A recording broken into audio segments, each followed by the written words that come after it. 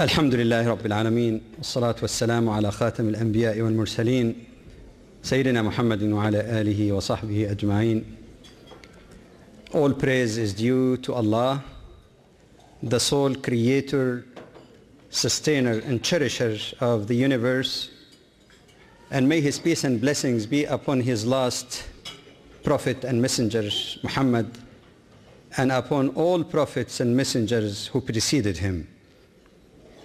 I greet you all, my dear brothers and sisters, with the greeting of all of the prophets, from Adam to Muhammad, peace be upon them all, the greeting of peace. Assalamu alaikum wa rahmatullahi wa barakatuh, which means may the peace, blessing and mercy of God, Allah, be with you all. And I wish in the very outset to express two things before we get to heavy stuff. First, my great thanks and appreciation for the Ottawa Muslim Association and for all excellencies who graced us with their presence this evening, and to you all for your kind invitation to share a few humble thoughts with you.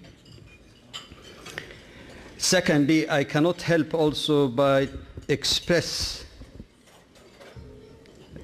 my feeling eh, in this kind of gathering with people from various national and religious backgrounds coming together as brothers and sisters. And when I was looking around, one particular verse from the Quran immediately came to mind. The verse appears in chapter 49, it's verse 13. And I just beginning with that by way of introducing the topic. Interesting enough, that verse does not begin by addressing Muslims. It does not say, O Muslims or O believers. It says, Ya ayyuhan nas, O mankind. That's a very inclusive address from God to humanity through that last scripture, the Quran. And in fact, it's interesting to notice that in the Quran, while sometimes it addresses Muslims, especially when it comes to their particular religious duties like prayer and fasting, there are more than 200 verses in the Quran that begins with the address, O mankind, all of you. God is addressing everyone. And that's significant. Then it goes on. It says, we means God, that's royal we. We created you from a single male and a female, or male and female, depending how we translate it, which actually means that you are all one family. And if you have the same set of parents, then there is a human family, diverse as it may be, but one family. Then it goes on. And we made you into nations and tribes. Why? That you may get to know one another and recognize one another. This is in full consistency with another verse in the Quran in chapter 30, verse 22 which explains why people on earth have different languages and complexion. And it says in the translation of meaning, of the signs of God, the signs of his mercy and wisdom, is the creation of heavens and earth and the diversity of your languages and your complexion. That is a sign of the creation of Allah. My favorite analogy is like a bouquet of flower, where the white flower is beautiful in its own right. So is the yellow, the blue, the pink, and more beautiful are all of them together. And then it establishes finally at the end of that verse the sole criterion on the basis of which a human being can be a better human being.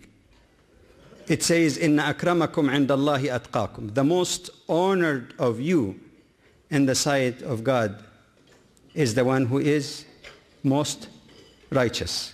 Forget about color, language, even faith claims because faith claims are to be settled by Allah in the day of judgment. But this is the translation of true faith. I'd like to first make a remark concerning the topic. In order to achieve world peace and mutual understanding, it is not only enough to talk about what is agreeably positive points. I am sure all of you here, in some degree or the other, are already past Islam 101. And initially, even when I thought of the topic dealing with world peace, I had to make some kind of modification even in the last minute as I was thinking and flying in the plane next to me, uh, a brother who lives here in Ottawa, uh, Salim, brother Salim Jam. And we kept discussing the topic because I was hesitant myself as to whether I should deal also with these broad issues of what does the term Islam come from, how does the concept of peace fused in uh, theological and eschatological terminology in Islam, how the concept of peace is inherent in the objective, the five broad objectives of Islamic law to safeguard faith, life, mind, honor, and wealth, to explain the meaning of jihad and so on and so forth. But then I mentioned to him also that in the last uh, few weeks, I have been following the trend led by some people in the media or other circles who seem to have uh, been promoting antagonism at the time when what we need more is to promote love. We have seen lots of articles, I don't know what is your share here in Ottawa, quoting things from the Quran out of context and trying somehow to convince the public that hatred and harassment of Muslims is justified because violence, dominance, and imperialism is inherent in the very scriptures of Islam. I know that might be a delicate topic, and like I said earlier, it might be a heavier stuff than dealing with the more one-on-one thing that we have heard. But since you've heard that already, I thought it might be beneficial to go a little bit beyond that because world peace and understanding can also be achieved not only positively by presenting the positive things, but by also dispelling misunderstanding and misquotations. To do that, I propose to deal with the following issues. First, a brief introduction to the methodology with which we should understand uh, the topic, and then move on to classify the most common types of error in understanding and interpreting the Quran, including, by the way, some interpretation by some Muslims. And then move on to um, deal, and that's the heart of the topic, with some of the commonly misquoted, mispresented, or misunderstood verses in the Quran. To start with, in the introduction, as some of you might, have, might be able to see on the PowerPoint, it's um, the need for objectivity and honesty when we deal with a topic like that. To me, that translates into, number one, trying to have some sort of control on the issue of emotions. And I address that not only to non-Muslims, but to Muslims as well. Let's not emotional feeling without evidence blind a person from trying to see the truth as truth. The Quran teaches self-criticism. It teaches fairness and saying the right thing even if it be against yourself or your close kins. The Quran advocates justice even with the enemy, those who show enmity. You have also to say the word of truth and justice. Secondly, when we deal with the broader issue of relationship between Muslims and non-Muslim, I'm using non-Muslim in a positive sense, those who are outside or not part of the Muslim community of faith, I can't find any better word, but I'm using it in a positive sense. When we deal with this kind of relationship, we have to be honest and realistic also in realizing that we're talking about at least 1400 years of interaction, some of which was surrounded by hostilities, other periods by cooperation, not only with Christians, but with Jews and others in building a civilization such as the House of Wisdom in Baghdad, Islamic universities in Spain that was the jewel of Europe. But there have been periods of conflict. So my second precaution on the issue of objectivity is to try and be aware of the historical legacy that could becloud the thinking of Muslims or their friends for that matter. We have to keep that also clear in mind. A third and final aspect of methodology is that when we try to understand and, or promote better understanding uh, between Islam and other uh, sister religions, it is very essential to make a clear distinction in mind between pure Islam, normative Islam, and the opinions and the way some people interpret certain aspects of it. There is only two, there are only two primary sources of Islam, no third. One is the Quran that Muslims accept as the verbatim word of God dictated to the last Prophet Muhammad, peace be upon him, through Angel Gabriel. The second is also another form of revelation known as hadith, and some scholars use the term sunnah, but basically it refers to the words, action, and approvals of Prophet Muhammad, peace be upon him, in his capacity as a prophet, receiving revelation only in meaning, but expressing that in his own words. So hadith is not the word of God, but it is not the invention of the prophet. It is something that he's directed to tell people, but in his own words. Anything outside of that, and must, you must have heard the term fatwa, which literally means a religious opinion or interpretation, are not infallible. They are not infallible.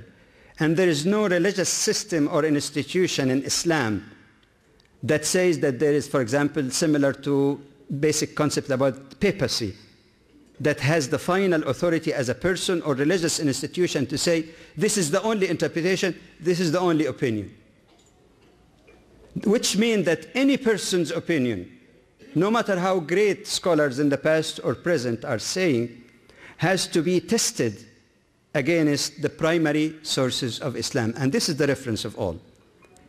And I do emphasize that because it is quite easy to launch a criticism against any world faith by quoting scholars of that religion. Scholars are not perfect. You get 1400 years of scholarships. You get people who might have given opinion based on certain circumstances surrounding them. So to quote authorities, even among Muslim scholarship, in order to prove a particular point is not that definitive unless that opinion is tested again against the two sources, primary sources of Islam. Now, coming to the foundation for this presentation, the errors. And I thought perhaps a most logical and easy way to classify the errors in interpreting the Quran, there are many, but I just chose the ones that are relevant to our topic, especially in Muslim-non-Muslim relation. First, relate to what I call errors of translation a lot of people quote a translation of the meaning of the Quran and say, the Quran say. No. The Quran was not revealed in English.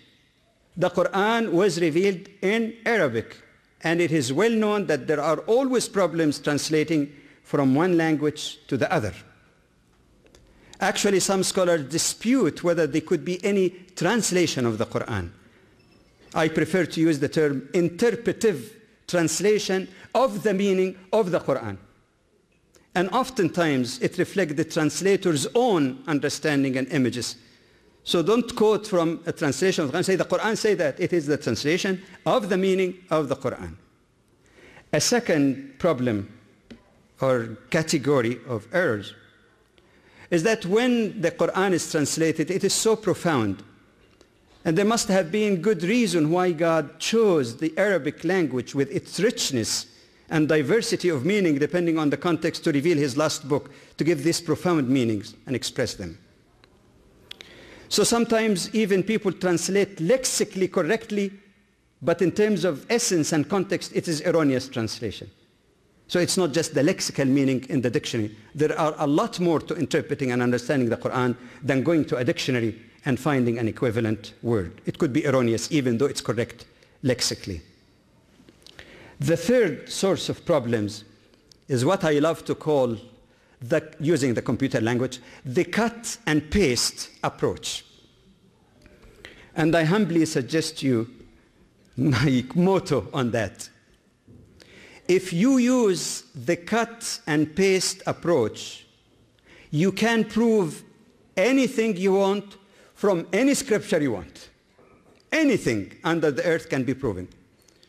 And if you don't have a computer, you can buy a pair of scissors for two bucks, cut verses from the middle, cut it out of context, and you can prove anything. Just put it together, the cut and paste approach. And I'll be giving you lots of examples of those cut and paste approach. Well, to put it in a different language, the out of context interpretation. And there are four basic categories of out of context interpretations. One, out of the context of the verse. Some people even would not care to quote the entire verse. They clip it in the middle. And not, sometimes you, you quote only one part of a verse if there is no change in meaning. But clipping a verse in the middle in such a way that it gives a totally different meaning altogether. You know, there is one verse in the Quran says, don't pray. Don't even come close to prayers. And some of you might say, how could it be? Muslims are required to pray five times a day. But if you continue the rest of the verse, it says, don't come to prayers when you're intoxicated. So clipping could totally even turn the meaning upside down. The second is that sometimes people also would quote even a full verse from the Quran, but paying no attention to the verses immediately before or after in the same section that deal with the same subject. In that case, you lose the context where that verse was revealed. The third is that the Quran completes and explains itself. So a person might quote even a whole section, but it's wrong. Why? Because it overlooks the context of the whole Quran. So the proper methodology of understanding any topic is to bring together not only one text, not only one section, but to bring all the verses in the Quran and whatever relevant of hadith, authentic hadith or saying of the Prophet together. And then you can understand the topic in context rather than going in all kind of directions. Fourthly, out of context historically. And this is the most serious problem with lots of quotation that many writers use to say violence is rooted in Islam. Check the number of verses and surahs they quote from. You will find that most of them, most of them come from two surahs in the Quran. Surah number 8 and 9. And people who do not care to find out the context of these two surahs historically come up with erroneous generalization about what Islam teaches. These were revealed in the context of conflict and warfare between the early Muslim community and the pagan Arabs who spared no effort to undermine the religion, committed so many atrocities against them, including murder. And people forget about that historical context and how to deal with people in that state of war and say that's the general relationship that should permeate relationship between uh, Muslims and non-Muslims alike. Let me go through this cut and paste. I put it in a form of myth, common statements that are erroneous. I have classified already the type of errors. I leave it up to your own judgment to find what kind of errors are there. Some would be very obvious. First, how many times you must have seen or read that Muslims are so offensive to those who don't follow their faith, they're calling them infidels or people even referring to the text of the Quran in Arabic and translate the word kuffar, and I'll come to that term, into infidels. To me, that's a straight error in the first place of translation. The word infidel, if you check the dictionary, is quite negative and offensive. And I wonder whether those people who are using that term are instigating hatred against Islam because they say Islam consider you as an infidel. Just go to any dictionary and sometimes eh, an infidel is described as some who believe in something very weird or strange or one who does not believe in God even in the first place. This is not the translation of the term kafir. Let me give you an evidence right from the Quran to see again another error, contextual error in this kind of translation. Even though this is enough to say translation is wrong is enough. But to confirm it further from the Quran, are we to consider Jews and Christians as people who are infidels in a sense that they don't believe in God? That would fly in the face of verse 46 in the Quran in Surah 29, Ankabut, which says it very clearly that when you dialogue with the people of the book, you dialogue in the best and most courteous way. But then it says, وَقُولُوا آمَنَّا بِالَّذِي أُنزِلَ إِلَيْنَا وَأُنزِلَ إِلَيْكُمْ وَإِلَهُنَا وَإِلَهُكُمْ وَاحِدٌ And say to them, mean to Jews and Christians, we believe in what has been revealed to you, means in its original form, and what has been revealed to us.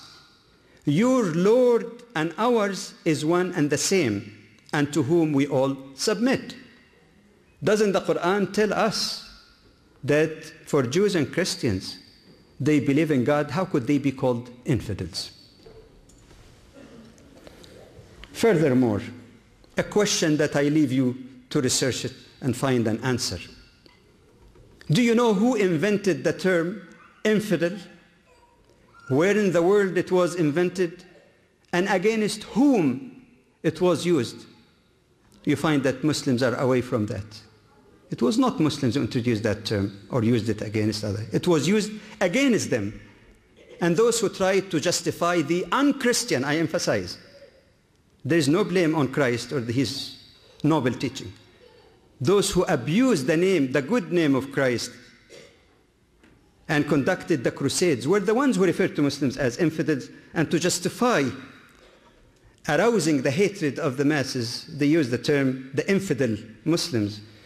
And to the big surprise, when those people came to fight against infidel, they found that they have the purest form of monotheism. But this how masses sometimes are led by politicians or other institutions. Not all politicians, of course, uh, some, some politicians. All right. Another uh, second example of uh, cut and paste or non-Muslims are disbelievers. All right. Is that a correct term to start with? Is there a difference between the term unbeliever and disbeliever? In my humble understanding, an unbeliever is someone who may not be aware of something, so he doesn't believe in it. He's never known or heard. So he is unbeliever He's not exposed to it. Whereas a disbeliever seems to indicate that someone has been exposed to certain truth or information and then he deliberately rejected it. And that's why sometimes the Quran uses the term kafaru, verb, in an active verb form. Know something, but reject it. It is truth, but I'm not going to accept it. All right. That distinction then raises another issue. Is it possible that a person who is, from an Islamic perspective, unbeliever, an unbeliever, will be forgiven by Allah? The answer does not come in an opinion. You go to the Quran in Surah Al-Isra, Surah 17, in Ayah 15. وَمَا كُنَّا مُعَذِّبِينَ حَتَّى نَبْعَثَ رَسُولًا Allah says in the Quran, we will not punish until we have sent a messenger. So a person who was not exposed to the message, did not know about the message, is not to be condemned, and it's not our job to condemn. It is left to God to judge that person in accordance with what he knew about the truth and whether he rejected it out of pride or whatever, or he didn't know or didn't fully understand it. That's a misplaced I. Okay. The third one. Okay. Go back space. Some non-Muslims, some say, all right, admittedly, not all those who did not accept Islam are disbelievers, some are unbelievers, they don't know. But they say, well, but some people have been exposed to the message of Islam. So at least some of them who willingly rejected it and did not accept the final prophet and final scripture as you Muslims understand it, are to be classified as disbeliever according to your own definitions. What do you say about that? But the question here, when you use the term disbeliever, disbeliever in what? Are Jews and Christians disbelievers in God or revelation? The answer was given early in chapter 29 or Surah 29 in the Quran Do Jews and Christians or reject the basic generic teaching of God that was revealed to all of the prophets?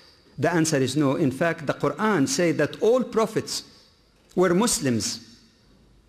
And in fact, the ayah that was recited earlier, وَلَا تَمُوتُنَّ إِلَّا وَأَنْتُمْ مُسْلِمُونَ Don't die except in the state of Islam.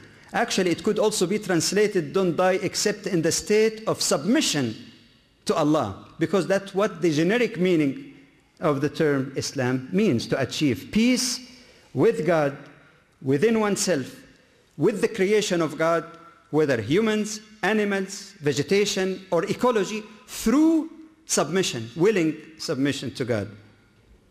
We cannot interpret the word Islam always to mean only the community that follows Prophet Muhammad This is the last form of Islam. But generic Islam, as the Quran indicates, has been the teaching and message of all of the prophets. We cannot say that people of the book are disbeliever in that core message of God or the basic moral teaching taught by all of the prophets. What are they disbelievers then? What did they disbelieve or reject? They disbelieve in the finality of the mission of Prophet Muhammad and the Quran as the last revelation of Allah. But could that be regarded really as a derogatory term, really that someone does not disbelieve? Well, every human being believes in something, disbelieves in something based on his own conscience. We are not to hold people accountable here. So even if you say they're disbeliever, all right, theologically, that's fine. But in terms of ultimate consequence for that, it's not up to you or me to mistreat them in this life here.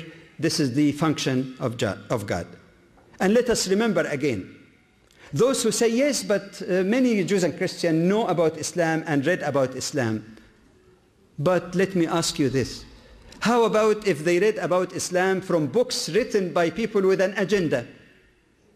People who wrote actually to blemish the image of Islam. And they thought with all sincerity that this is the correct knowledge of Islam, this is Professor so-and-so, this is Doctor so-and-so. They didn't realize how erroneous the information is. Who are we to judge whether they really got the true picture and message of Islam and deliberately? But even if they did, it's not our function to hold them accountable for that.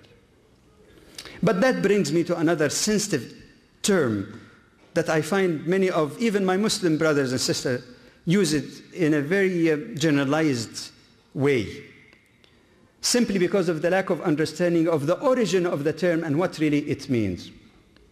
A lot of Muslims might use the term kafir and kuffar. You translate more or less like disbelievers as if it is really, in a way, a derogatory term. Well, there is a difference between what is right and what is wrong theologically, but again, I keep emphasizing theological correctness or incorrectness is left to God to judge all. But what exactly do we mean when we use the term kufr and kafir? Literally speaking, kufr means to conceal to commit an act of kufr means to conceal. In a way, you can say that a farmer who is putting the seed and hiding the seed, concealing the seed in the, in the ground, is doing an act of kufr. I'm not suggesting that you go to this farmer and say you're kafir because you might get a blow in the nose. I mean, in the literal sense, it could be called he kafir. He's hide, he hides, he conceals the seed in the ground. But then there is an interesting ayah that many Muslims do not really reflect carefully upon. Can a person be a Muslim and committing an act of kufr, not in the greater sense? Well, the answer comes in the Quran. When it speaks in that surah, surah 3, about pilgrimage, it says pilgrimage is mandatory on Muslims who are able to do that. And anybody memorize what does it say after that? وَمَنْ كَفَرَ فَإِنَّ اللَّهَ غَنِيٌّ عَنِ الْعَالَمِينَ But those who, if you take it literally, who commit kufr, Allah is self-sufficient. He doesn't need people. Here, kufr does not mean rejection of Islam or the Prophet, meaning being ungrateful. You're concealing your gratefulness to God for whatever He has given you. But of course, in the theological sense, and that's why the Quran used the term kafir to people who deliberately rejected the truth, is that a kafir, in fact, is someone who is concealing or covering up his or her pure innate nature that knows that there is a creator of this universe. And that creator must be one to conceal the innate nature, the spiritual nature that the Quran expresses in breathing the divine breath in every human being. And to go against their pure nature to worship idols or not to follow the true faith of God. But then there's another aspect. And my brother Salim, when he was traveling, he asked me the same question. He said, I am confused and people keep asking me about that question. Can we really say that shirk, which literally in Arabic means to associate, i.e. to associate others with the one God in his divine, exclusive divine attributes, what is the difference between shirk and kufr and people of the book? I said, brother, the difficulty sometimes arises even in the mind of Muslims because the ter these terms are used in a variety of meaning, layers of meaning depending on the specific context. I said if you mean by shirk people who really worship gods beside God, then that description does not apply to the people of the book. And the evidence is found directly in Surah 98.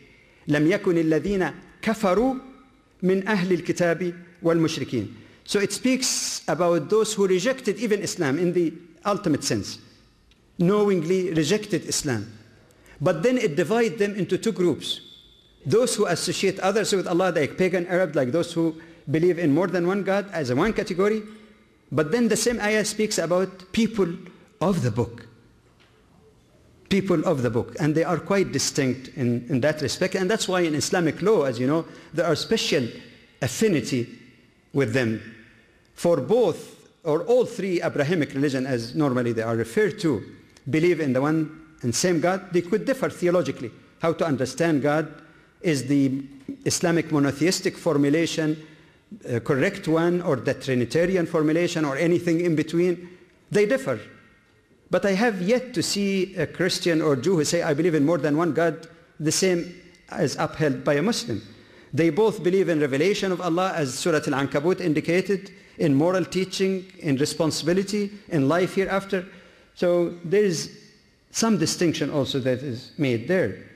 But suppose even they deliberately rejected the Quran said, let be no compulsion in religion. Another cut and paste. And this is one of the most curious ones. Somebody writes and says the Quran uses derogatory terms against non-Muslims. And it says non-believers are unclean. They refer to again to the same two surahs, actually to Surah 9, which deal with the state of war between Muslims and pagan Arabs. إنما المشركون نجس. Again, you find a number of errors here. A number of errors. They take one part of one verse Number one. If you continue the verse, it says, they are not allowed to come to the sacred house after this year. Oh, sacred house, so there must be historical context. What is the historical context?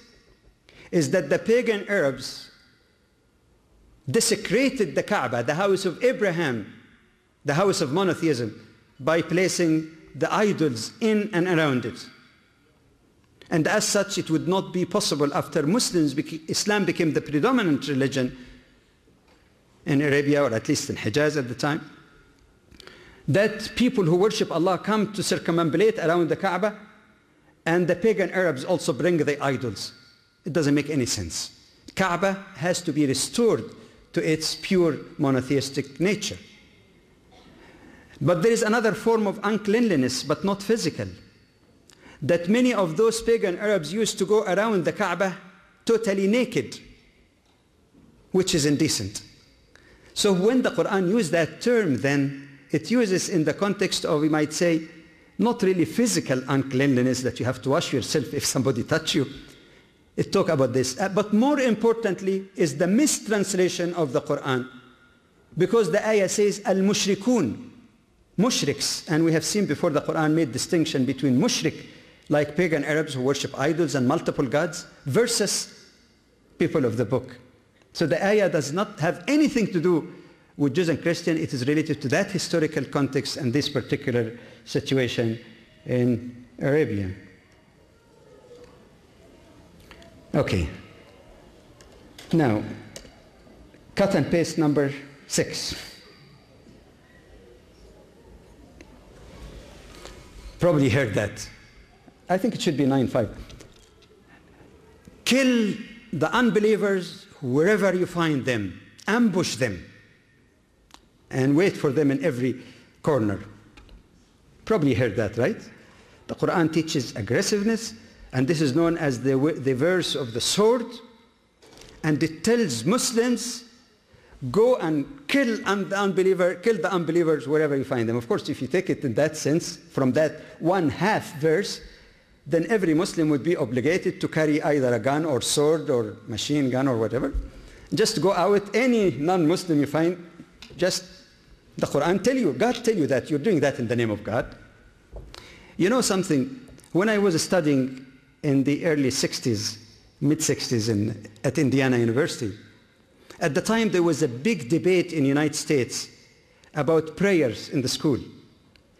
And the Chief Justice of the Supreme Court of the United States, Justice Douglas, I think his name at the time, you know, he made a statement. And he said, if we allow every person to do prayers in the school, in the beginning of the school, then the Muslims, misspelled of course, meaning Muslims, then the Muslims would recite the first verse in the Quran, the first chapter in the Quran that tells him to go and kill the unbeliever wherever he finds them. I think he got his number wrong as well as his understanding also wrong.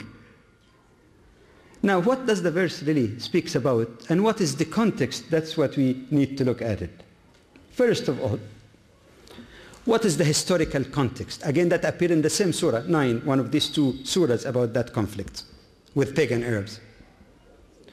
If you read even the remaining part of the verse, okay, it says, فاقتلوا المشركين حيث وجدتموهم وخذوهم واحصروهم واقعدوا لهم كل مرصد فإن تابوا وأقاموا الصلاة وآتوا الزكاة فخلوا سبيلهم that if they desist from the wrong, especially of course if they are guided and they stop their hostilities, guided to Islam, it says leave them alone.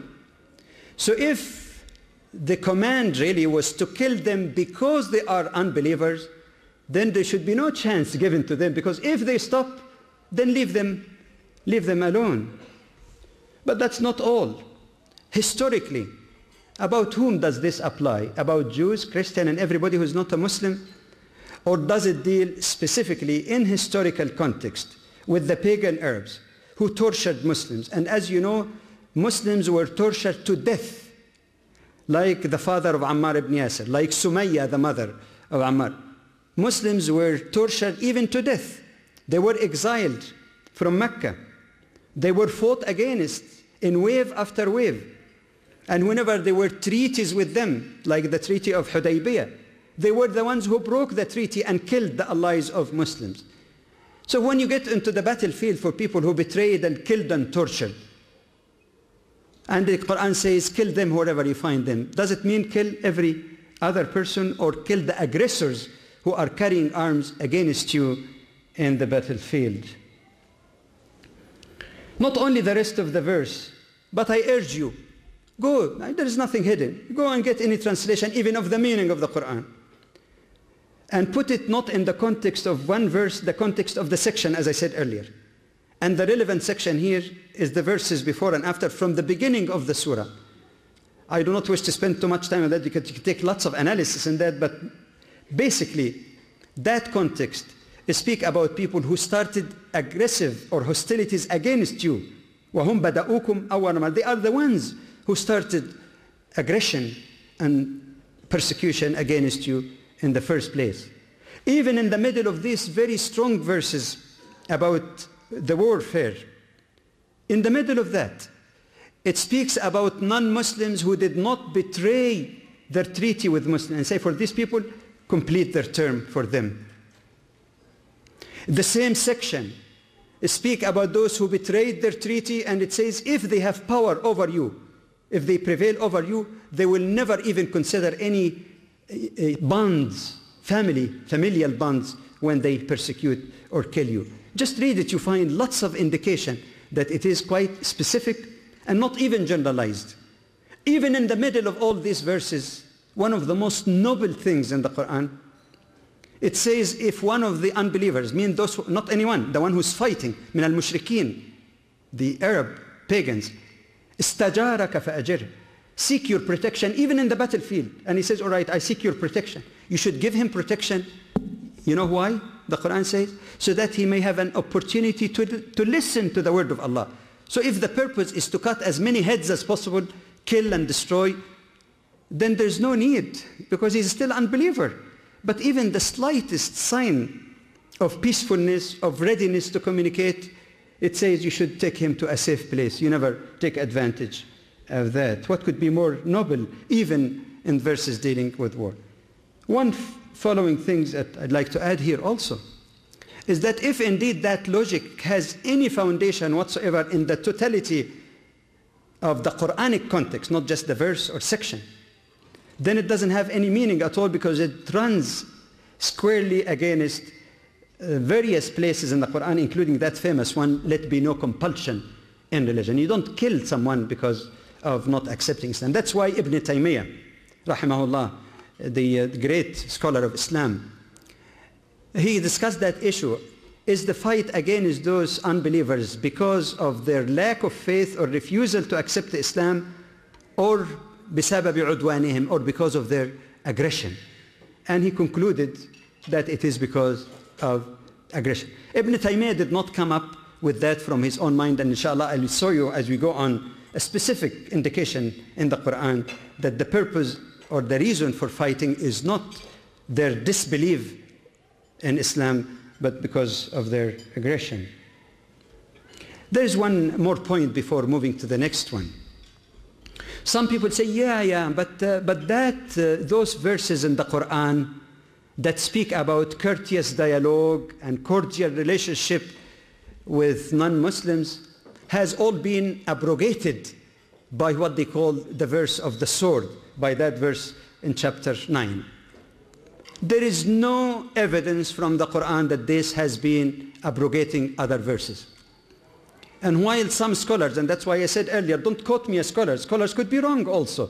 More discerning scholars rejected this idea that some writers in the past said that this verse precluded all the other verses. It is totally erroneous and there is no evidence.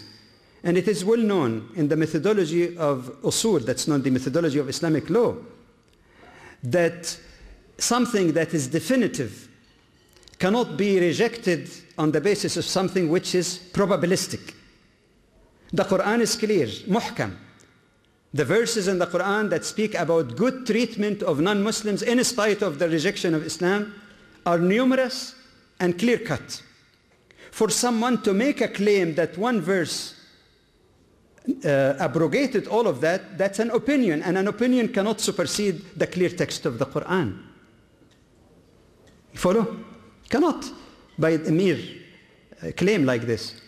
And the proper understanding, as many discerning scholars has found out, that there is not, no abrogation here. The verse about the sword is applicable in a situation when people are trying to finish you off, to destroy you. Yes, you can fight them.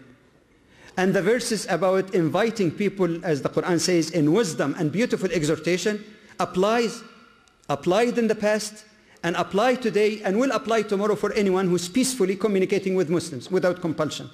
So each verse has its own scope of application, not that one abrogated or replaced the other. This is a myth, common as it may be. It's a myth. Seven, Muslims are required to fight all non-Muslims until they accept Islam.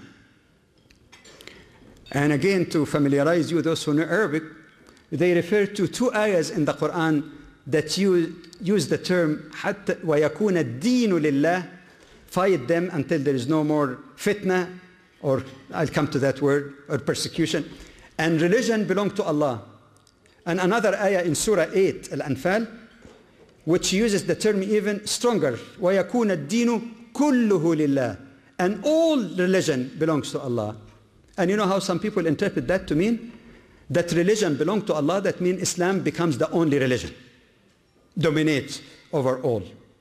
Is that interpretation correct? Let's go back to the words used in this verse. وَقَاتِلُوهُمْ حَتَّى لَا تَكُونَ fitna. That appears in Surah 2 in verse 193. The word fitna here means religious persecution. That means fight those aggressive people until there is no more religious persecution. And historically we know it. They used to punish people even who remained back in Mecca if they discovered that they accepted Islam and harassed them. So yakun ad-dinu lillah does not mean Islam is imposed on everyone else, but it means that people have the freedom, religion belongs to God, not to the rules and dictates of rulers, and people can choose a religion, whether it's Islam or otherwise. But there is even another aspect to keep the consistency of the methodology we mentioned earlier. What is the context of the Quran? The context is freedom to choose a religion, no compulsion in religion. How come the Quran says no compulsion and then says fight them until there's only Islam? What, what sense does that make? All right. Moving on Continuing with this uh, seven, seventh issue.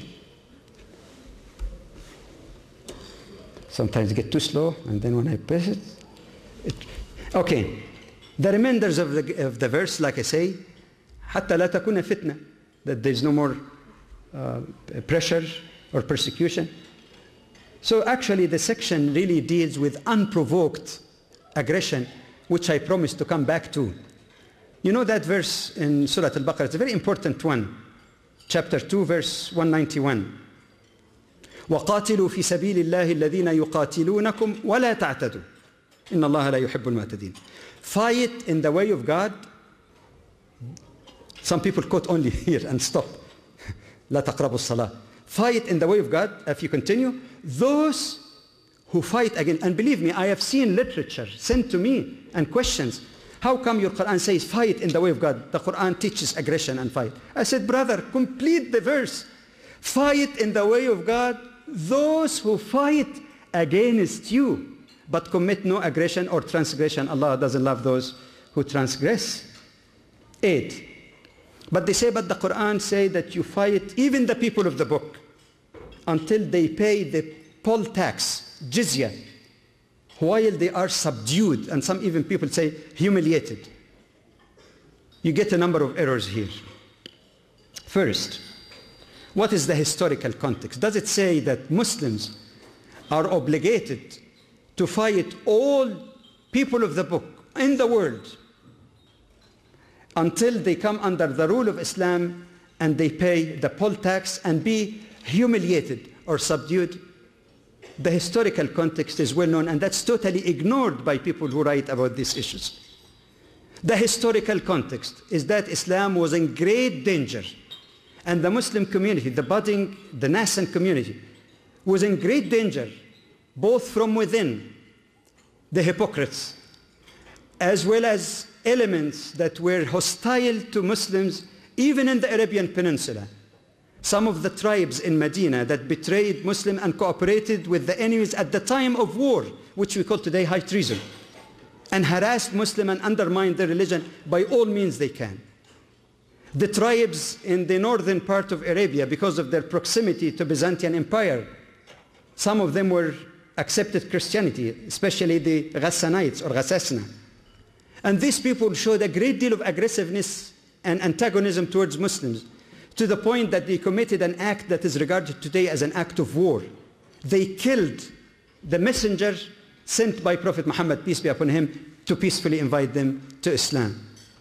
So when the ayah and the surah is dealing, in, and again it's surah 9, in that context of enmity, the Byzantines who gathered a huge army in Tabuk, which is now in the northern part of Saudi Arabia, to you know, whip or to remove Islam totally from existence. This is the circumstances where the necessity to defend that community from those great danger would be to fight to subdue them to stop the possibility of attack against the Muslim community. But then there is a big misconception about the question of jizya. Some people think that jizya is punishment for a person who did not accept Islam, the poll tax, or at best a bribe that when you become a Muslim you will not pay the jizya. They're mistaken on both grounds.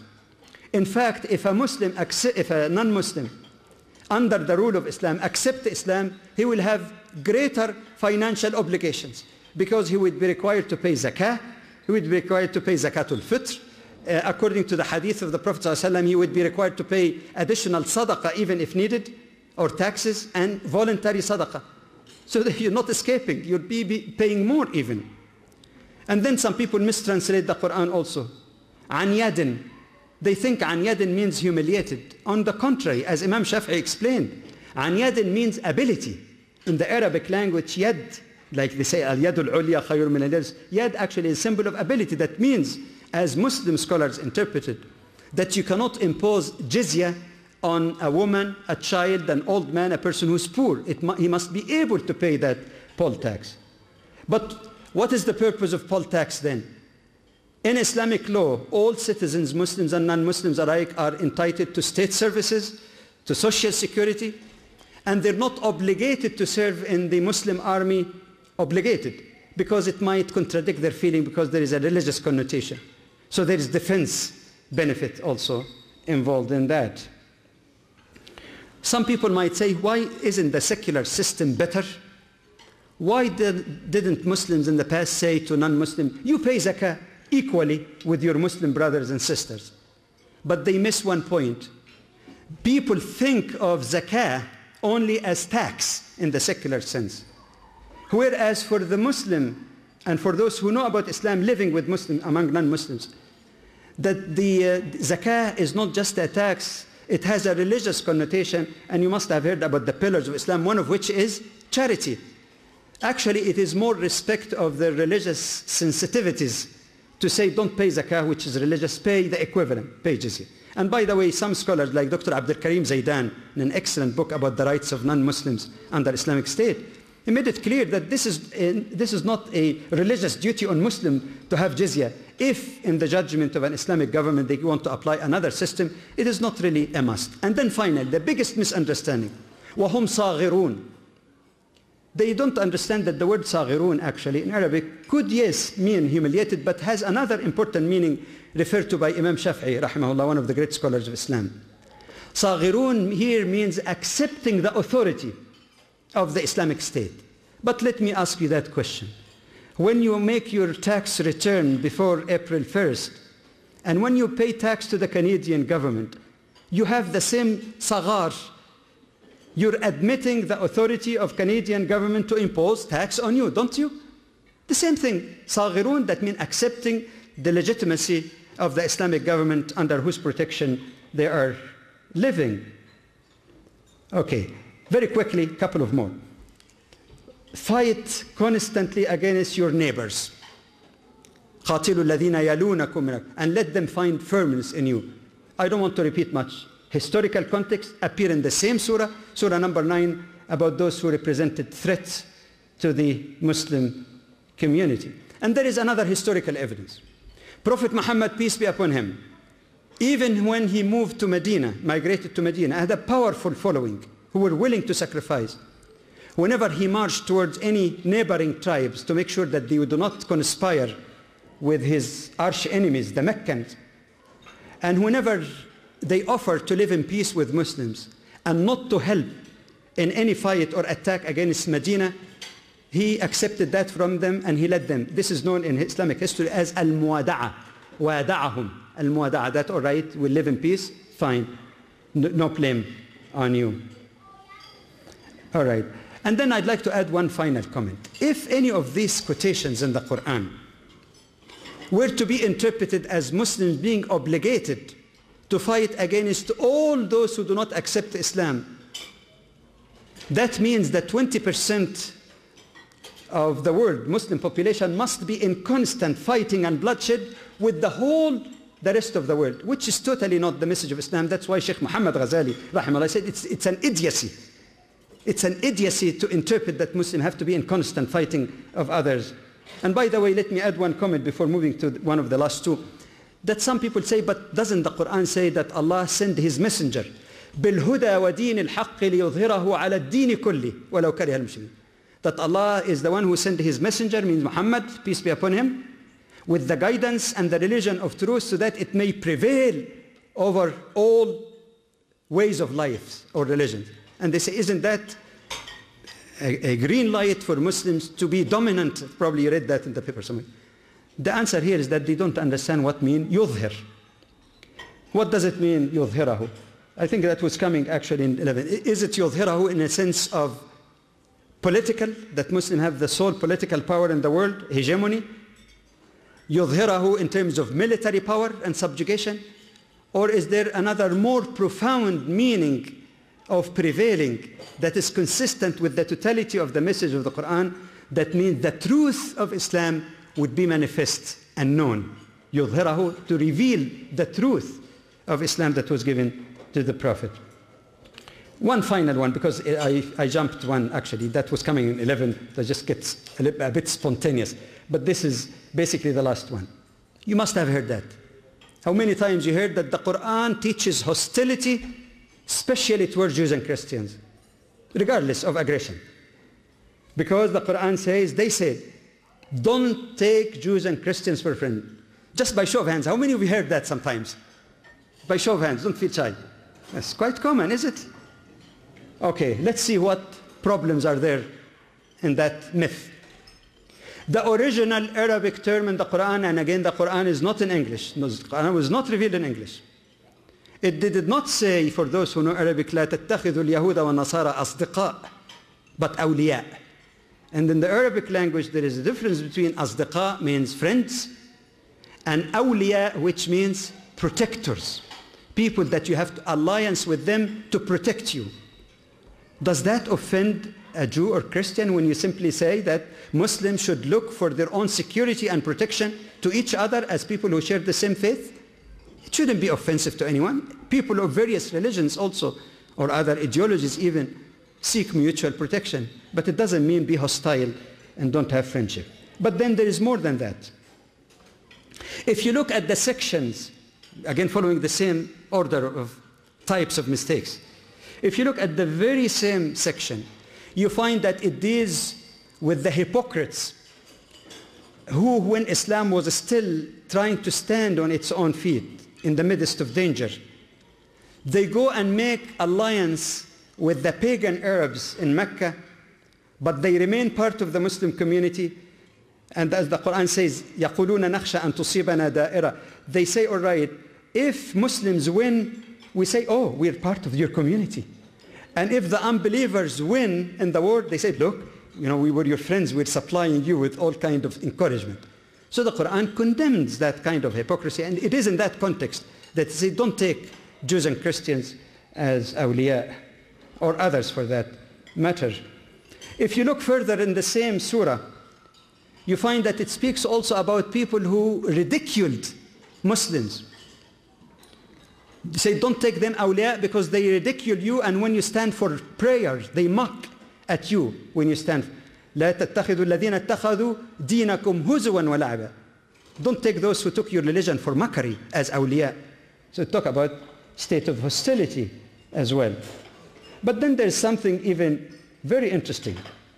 If you go to the context of the Quran, the broader context of the Quran, how come it can be interpreted to say, don't take them as friends, whereas this crucial citation in the Quran, remember it, Surah number 60, verses 8 and 9. You know what it says?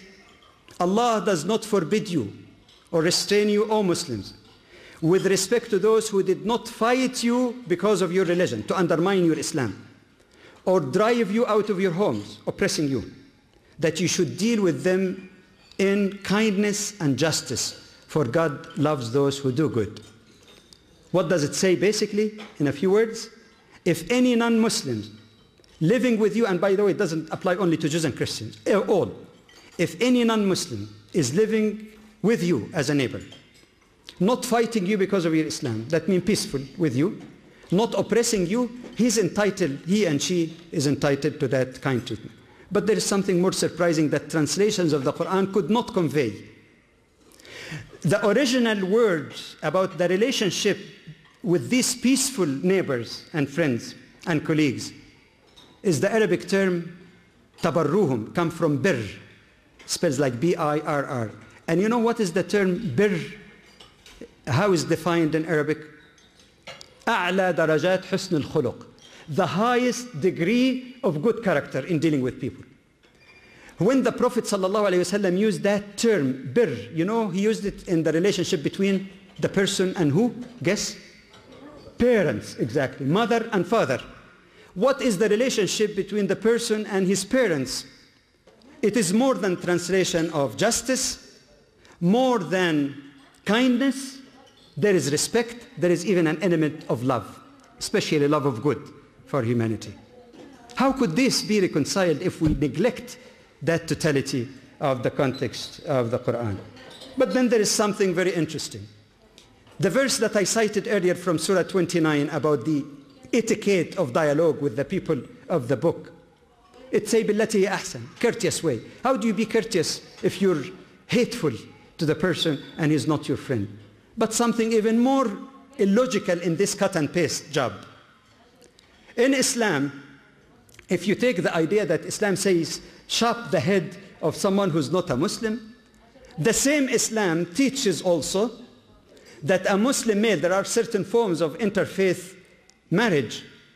So a Muslim man, for example, will be allowed to marry a Christian wife. How should he treat his wife? Surah 30, ayah 21 in the Quran describes marital relationship between husband and wife as one that is based on peace, love and compassion. Peace, love and compassion. So if we take that cut and paste meaning of the verse, chop the heads of non-Muslims, the Muslim then would go to his wife, who's not a Muslim, and he says, honey, my book teaches me to live in peace with you. I love you. I have to be kind to you. But the other verse says, I have to chop off your head. Okay, I discussed this issue of meaning يظهره على الدين كله. So let me come to some very quick conclusion. You might say that the whole presentation was based largely on quotation that come, like I said, from the two surahs that deal with the hostilities against Muslims, not generalization. But what is more important here, that there is a basic sensible rule. It's not only a rule of Islamic exegesis. It is a sensible rule for anyone. You open the Bible and study it, for example, or any scripture for that matter. You find out what are the predominant themes where you get dozens and dozens and dozens of verses. But then when you get to something that does not seem to go with that, now which one should be understood in the light of which?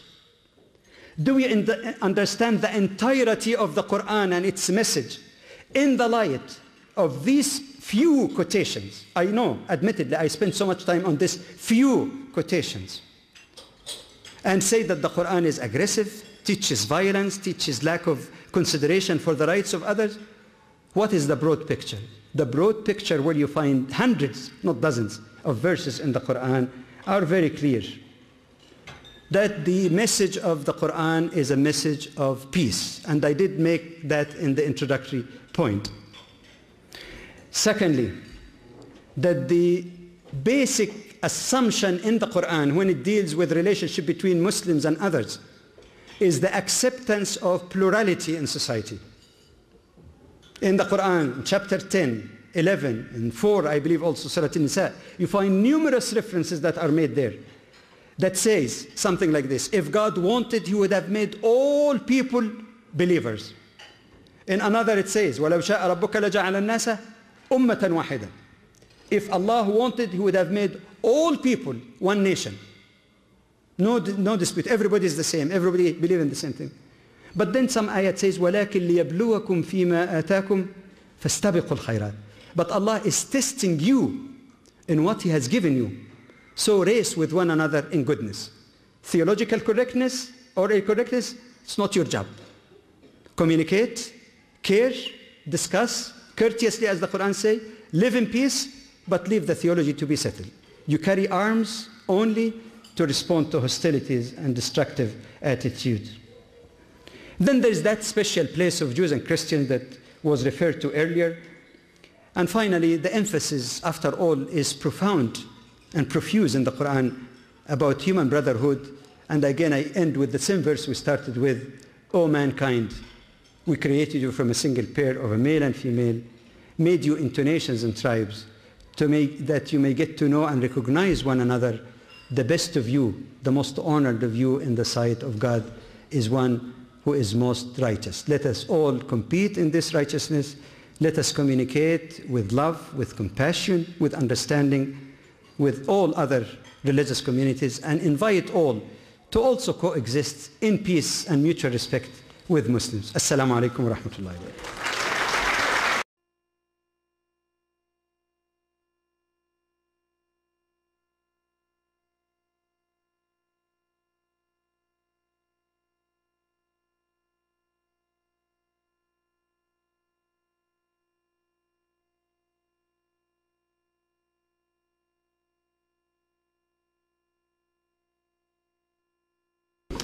الحمد لله رب العالمين والصلاة والسلام على خاتم الأنبياء والمرسلين سيدنا محمد وعلى آله وصحبه أجمعين All praise is due to Allah, the sole creator, sustainer and cherisher of the universe and may his peace and blessings be upon his last prophet and messenger Muhammad and upon all prophets and messengers who preceded him.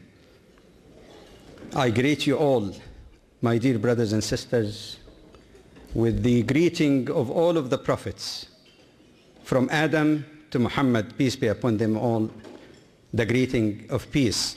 Assalamu alaikum wa rahmatullahi wa barakatuh, which means may the peace, blessing and mercy of God, Allah, be with you all. And I wish in the very outset to express two things before we get to heavy stuff. First, my great thanks and appreciation for the Ottawa Muslim Association and for all excellencies who graced us with their presence this evening, and to you all for your kind invitation to share a few humble thoughts with you. Secondly, I cannot help also by express my feeling eh, in this kind of gathering with people from various national and religious backgrounds coming together as brothers and sisters. And when I was looking around, one particular verse from the Quran immediately came to mind. The verse appears in chapter 49 and saying the right thing, even if it be against yourself or your close kins. The Quran advocates justice even with the enemy, those who show enmity you have also to say the word of truth and justice. Secondly, when we deal with the broader issue of relationship between Muslims and non-Muslim, I'm using non-Muslim in a positive sense, those who are outside or not part of the Muslim community of faith, I can't find any better word, but I'm using it in a positive sense. When we deal with this kind of relationship, we have to be honest and realistic also in realizing that we're talking about at least 1400 years of interaction some of which was surrounded by hostilities, other periods by cooperation, not only with Christians, but with Jews and others in building a civilization such as the House of Wisdom in Baghdad, Islamic universities in Spain that was the jewel of Europe. But there have been periods of conflict. So my second precaution on the issue of objectivity is to try and be aware of the historical legacy that could becloud the thinking of Muslims or their friends for that matter. We have to keep that also clear in mind. A third and final aspect of methodology is that when we try to understand and, or promote better understanding uh, between Islam and other uh, sister religions, it is very essential to make a clear distinction in mind between pure Islam, normative Islam, and the opinions and the way some people interpret certain aspects of it. There is only two, there are only two primary sources of Islam, no third. One is the Quran that Muslims accept as the verbatim word of God dictated to the last Prophet Muhammad, peace be upon him, through Angel Gabriel. The second is also another form of revelation known as hadith, and some scholars use the term sunnah, but basically it refers to the words, more beautiful are all of them together. And then it establishes finally, at the end of that verse, the sole criterion on the basis of which a human being can be a better human being.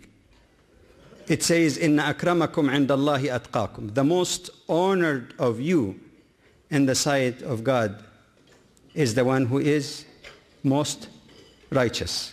Forget about color, language, even faith claims, because faith claims are to be settled by Allah in the day of judgment. But this is the translation of true faith. I'd like to first make a remark concerning the topic. In order to achieve world peace and mutual understanding, it is not only enough to talk about what is agreeably positive points.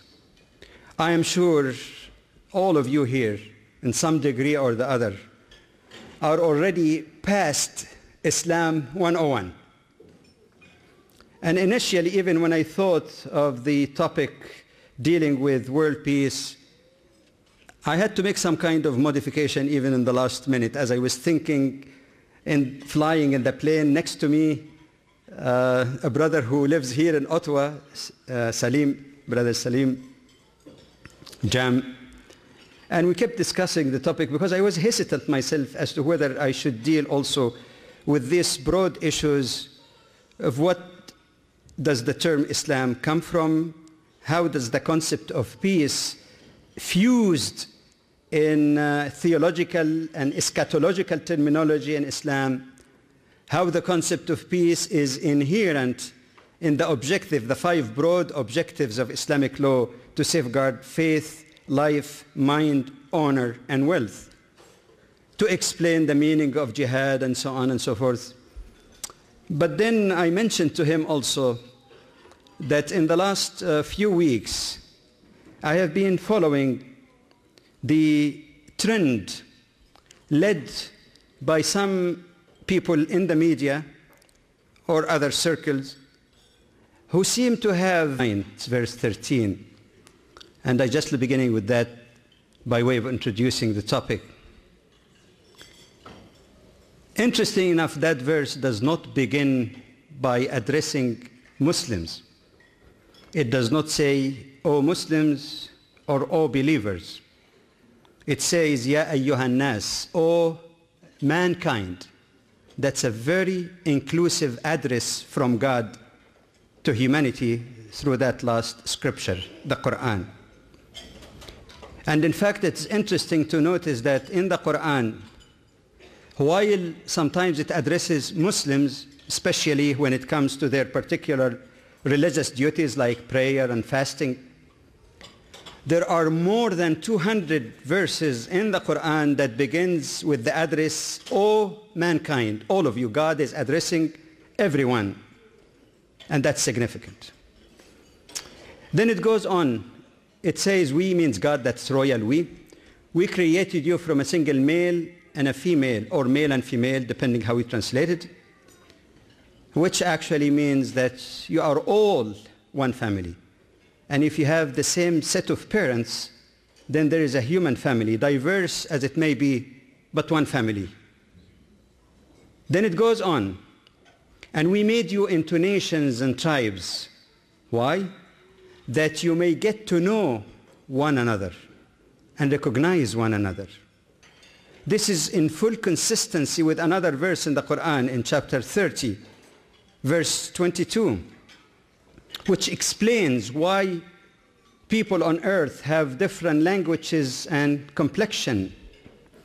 And it says in the translation of meaning, of the signs of God, the signs of his mercy and wisdom, is the creation of heavens and earth and the diversity of your languages and your complexion. That is a sign of the creation of Allah. My favorite analogy is like a bouquet of flower, where the white flower is beautiful in its own right. So is the yellow, the blue, the pink, and uh, being promoting antagonism at the time when what we need more is to promote love.